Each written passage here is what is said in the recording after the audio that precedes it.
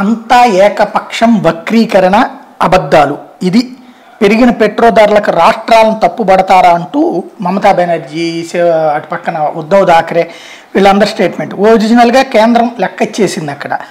పెరిగిన ధరలతో ఎనిమిదేళ్ళలో కేంద్రానికి ఇరవై ఏడు లక్షల కోట్లు వస్తే రాష్ట్రాలన్నింటికి కలిపి దక్కింది కేవలం పదహారు లక్షల కోట్లు. ఇరవై ఏడు లక్షల్లో పదహారు లక్షల కోట్లు పోతే ఏడు లక్షల కేంద్రం దగ్గర మిగులుతుంది. అంతే కదా? అంటే అదే కదా మరి దేశానికి సంబంధించినటువంటి ఏ- ఏ కేంద్రం మొత్తం వసూలు చేసింది ఏడు లక్షలైతే వీళ్ళు పదహారు లక్షల కోట్లు తీసుకున్నట్టు. మరి అప్పుడు ఎవరి తప్పు అవుతుంది? యా- మోడీని దొంగని చేసి చూపెడదామంటే ఇక్కడ విషయం ఏంటంటే ఒకటి సంక్షేమ పథకాలకి భారీగా ఆఫర్లు ప్రకటించేశారు. దానికి అప్పులు చాలట్లేదు.